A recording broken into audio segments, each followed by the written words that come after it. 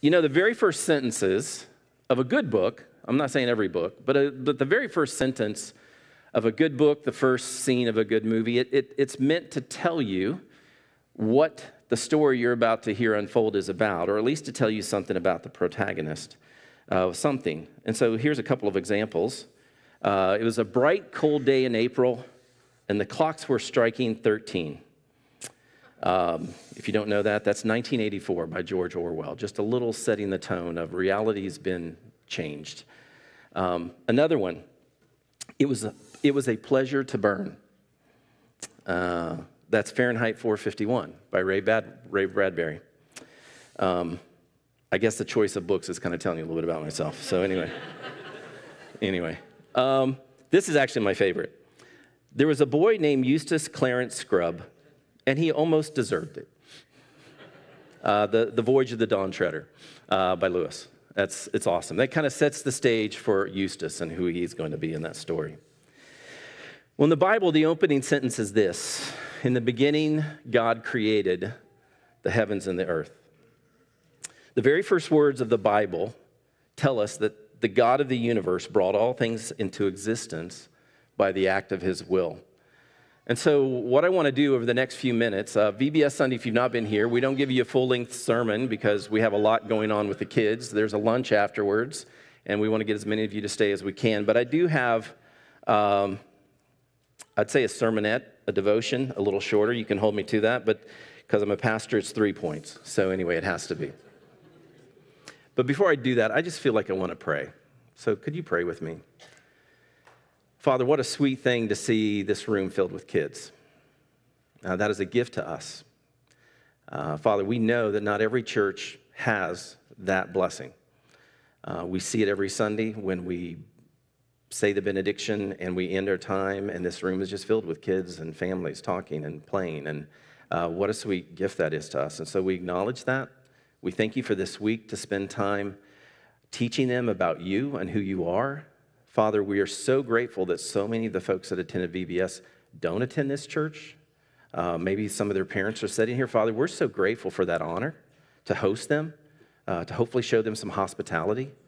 Father, I pray that this would be a sweet window into just one of your families, a church, and what it looks like to, uh, to worship you, to come together, to be reminded who you are, and the sweetness of that, the fruit of that.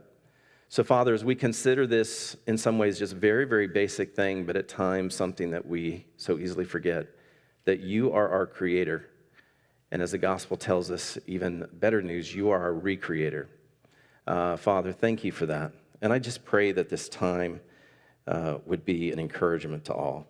Um, Father, speak through me in a way that in which you get the glory. We pray this in your son's name.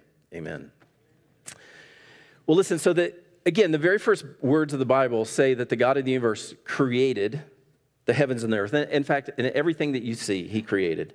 Everything that people didn't see, but now we're seeing, say, maybe through the, the Webb telescope, which again, I'm, I'm still geeking out about. I just can't believe what we're seeing in the, the universes and galaxies. And um, the Bible tells us that God created all of that. And in telling us that God created, a couple of things it says that, that didn't happen is that the world was not created through conflict or war, as the creation myths of that time, the ancient Near East, they all said. And so, in that very first sentence, God is stating that he had no rivals and there were no other gods but him, and that everything that mankind enjoyed was from his hand. In that one simple sentence, it said that. It's also saying that the creation we have around us didn't come about through random change or happenstance but there's, there's design and purpose in everything we see. It works together because it was designed to do so. And at VBS this week, we were able to celebrate the fact that God created the amazing world that we get to live in, that we get to participate in. And we learned that in Genesis also, He made mankind, men and women, boys and girls, in His image to be representatives of Him that as He is creative, we get to be creative too. We don't create galaxies, but we get to, to be artists or to make things and create things ourselves. And that is a reflection of His image in us, which is, a, again, a tremendous, tremendous honor. And as God's representatives, He has called us, men and women, all of humanity, to be stewards of the creation. We're entrusted with it to work. It's part of why here at Creekside, we, we want to lift up the value of work and the vocations we're called to, whether you're full time ministry or you're a doctor or a homemaker or you're an artist or a lawyer or a doctor, whatever you are, um, that is part of the creation mandate to be stewards of this earth and to be creative with what it is we've been given to do. And in that way, we reflect the nature of God in ways that we don't even think about to each other and to the world around us. And so, as I was thinking about that, the fact that God is a creator of everything, He's given us all these things as a gift, He's made us in His image, and we get to use this stuff as the raw stuff of to create our own food, shelter, um, whatever, just go down the list. Um, that one of the attitudes that this should elicit in us, this as we think about this week, is just simple gratitude. That what we, we've just been given a tremendous resource in this world and this creation that we've, we've been given.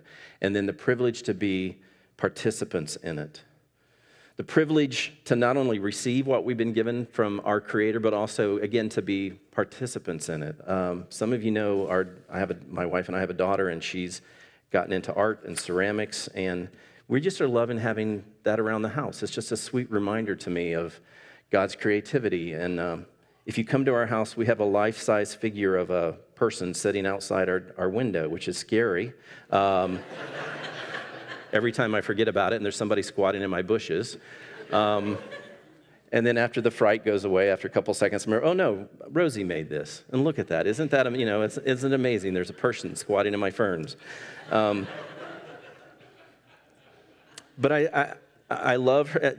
It was supposed to be a three foot figure, it's six foot. So anyway, that's my daughter um, going above and beyond for the A. But, uh, but it, it's just a sweet reminder to me of, uh, of the sweetness of, of creativity and of art. And that person serves no other purpose, that little clay. I don't know. I think it's a woman uh, facing away from me. I can't tell. But uh, um, just the, the joy of, of creativity of that. And so that's, a, that's always a sweet blessing every time I stumble across it. Uh, and all that's wonderful news and something to be glad for, but Scripture is full of grace and truth. It not only tells us things that we like to hear, it tells us things as they are, uh, like any good friend would do. And one of the things it tells us that there is, along with the good news, there's unfortunately some bad news. And that's that Genesis also says these image bearers, given this incredible heritage, uh, rebelled because the seed was planted to not trust this God who made it. That maybe, maybe there's something behind this, that he was keeping them down. And so the image bearers rebelled against God, and they unleashed, unleashed on the world brokenness, selfishness, rebellion, and what Scripture calls sin.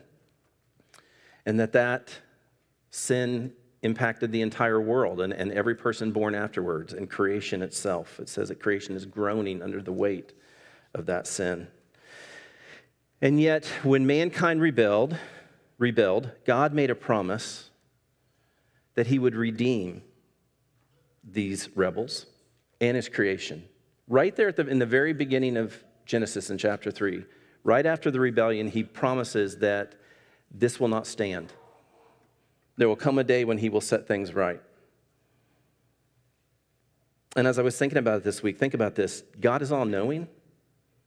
So in chapter 1, when God, when verse 1, when God made the heavens and the earth, he knew what was going to happen. He knew we'd rebel, and yet he still made us. He still made the creation because he loves us. And he was willing to go through everything that we and he were going to go through. I was thinking it's kind of like having kids.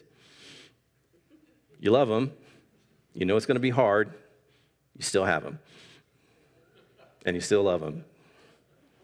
Take that times billions, and that's our God.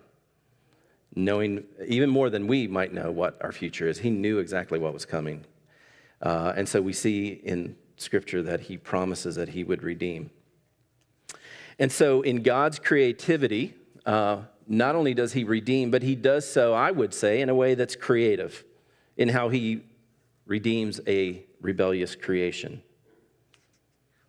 And he did it by sending Jesus to be the redeemer, and I'll just put this in, or recreator. And that's, that's part of what VBS taught me this week is that Our salvation, when Jesus came to deliver us, He's recreating us. He's recreating what He created at the beginning. So God did this when He promised to send a king who would set things right.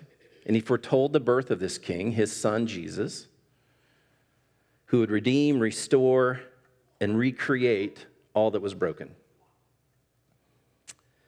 And everyone expected this redeemer, this restorer, this recreation to be done by using his power and might to overthrow the rebels, because that's how you fix things. We're kind of like people that we all have hammers, and so everything's a nail, or everything's a nail. So anyway, whatever that thing is, if everything's a, if you're a hammer, everything's a nail. We expect things to get fixed through power. But instead of sending a general to lead an army, God sent Jesus who healed people. Instead of sending a revolutionary to lead a movement, he sent a servant to teach people and to tell them what God was really like, to go about healing them and touching them and bringing them back in from the margins into community. Instead of sending someone to conquer the political realms, he sent Jesus who laid down his life as a ransom for sin. And so God recreated, but in a most remarkable way. And he did so because he didn't just want to defeat his enemies, he wanted to turn them into daughters and to sons. Because the truth is, we're all enemies of God before we come to Jesus. We're all rebels, we're all impacted by sin. And to come in and just clean the slate means that we're all wiped off the slate in the cleaning.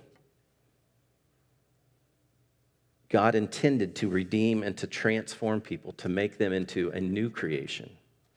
And that's the tremendously good news. The God who created this great creation, we broke it.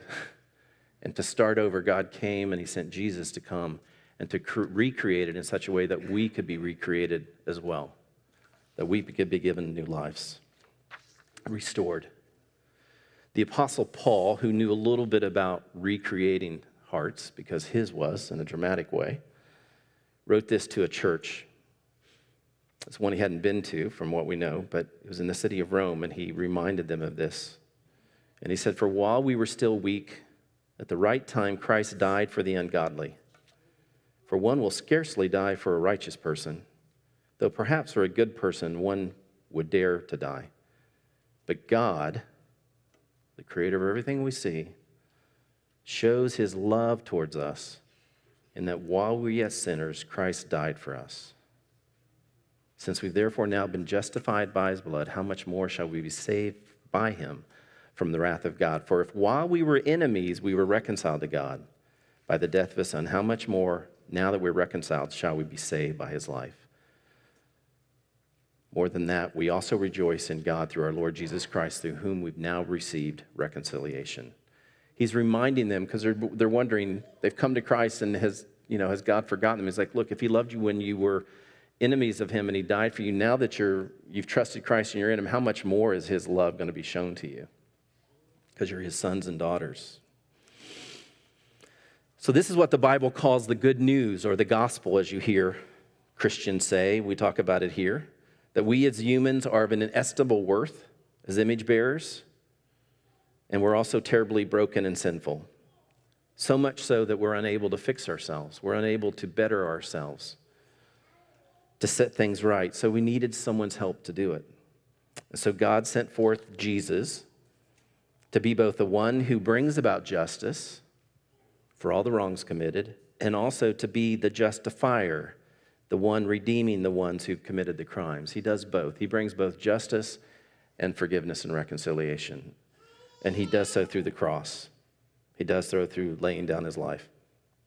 And the access to that forgiveness that was bought for us on the cross is not through effort and morally holding our breath for as long as you can, thank goodness, but by humility, acknowledging our need, our great, great need, and faith, accepting the payment, the grace, and forgiveness that is offered through Christ. That's what it means to be a Christian. One, that we need a Savior, and two, that He's offered it to us and we're going to receive that forgiveness and that recreation and let God do a work in us. And that's amazing, that's amazing news if that's, if that's all of it was, but there's even a little bit more to it. Because the Bible says it doesn't end there, because those who come to Christ through faith and are forgiven, it says we're made into new creations ourselves. In a letter to another church in Corinth, Paul wrote this Therefore, if any was in, in Christ, he is a new creation. The old has passed away, behold, the new has come. All this is from God, who through Christ reconciled us to himself and gave us the ministry of reconciliation. That is, in Christ, God was reconciling the world to himself, recreating the world, not counting their trespasses against him, and entrusting to us this message of reconciliation. I was slipping there of recreation. Therefore, we are ambassadors of Christ, God making his appeal through us. We implore you on behalf of Christ, be reconciled to God. And so, point three God's creativity is shown through the new creation that he has made us and what we get to participate in. The verse this week was for we are his workmanship, created in Christ Jesus for good works, which God created beforehand that we should walk in them. When someone comes to faith, they're not only given a future hope, heaven one day, but a new present reality. They're made new creations now and given the task of good works to do to show that God has recreated them and is offering that to others. You see, God is still creating, but this time it isn't universes and galaxies, but people. He's recreating people right in front of our eyes. He's taking them from spiritual life to death to life. He's making people new creations. And after making them spiritual life, God is giving these redeemed people gifts to use, to bless others, to build people up. God has given us gifts so that we can be engaged in good works to use to serve others, to bring glory to God, and to point them. So let me close with this. If you're here and you're not a follower of Christ, know that the one who made you made you for a relationship with him. Just as the kids were singing, we were designed for him. There is something in us that is askew until we enter back into relationship with the one who made us, because that's what we were made for. And in that new relationship, Scripture tells us we're now his workmanship, a new creation given to be the honor of being ambassadors here, to serve, to share the good news both in word and deed, and sharing the gospel and in the, in the way that we live our life, and the way that we treat others, and that we show and put on display the love of God that we've experienced as we interact with other people. You know, in the same letter to the church at Rome, Paul said, You can tell there's a good and powerful creator just by looking around at the world, at nature, and see what a tremendous gift you have. The good news is the Creator didn't walk away from His creation when it rebelled, but He set out to bring it home, and He made that possible through Jesus. And that's what we come together and we celebrate every week. So, Creekside, would you pray with me? Father, thank you first and foremost that you are a good creator. As we look at the world, even as we look out the window here and we think of how many shades of green did you make just within our eyesight?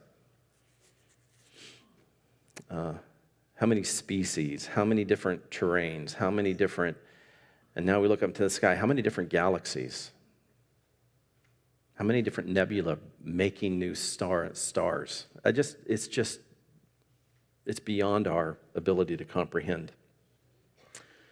But it shows a bit of your holiness, your otherness, your power to create, and also your goodness to create. So we thank you for that. But Father, as good as that is, we praise you for your skill and your creativity. But Father, we are and will be eternally grateful for your kindness and your mercy and your grace. Because when we rebelled, you didn't walk away, but you set out to rescue us and to redeem us. Thank you for that. Father, I pray that if someone is here and is wondering what you're like, I pray that you would reveal yourself to them.